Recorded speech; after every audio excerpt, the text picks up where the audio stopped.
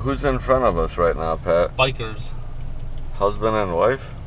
Maybe, or maybe boyfriend and girlfriend. You never know.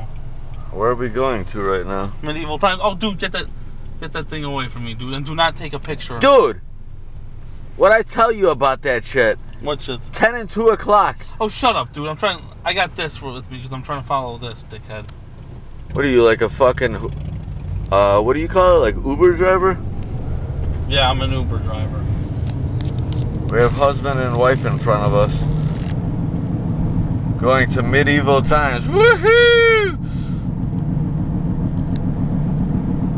I'm looking forward to eating some chicken ribs, corn on the cobs, potatoes, and Coca Colas. I do. they, serve us, they serve you Pepsi instead, I think.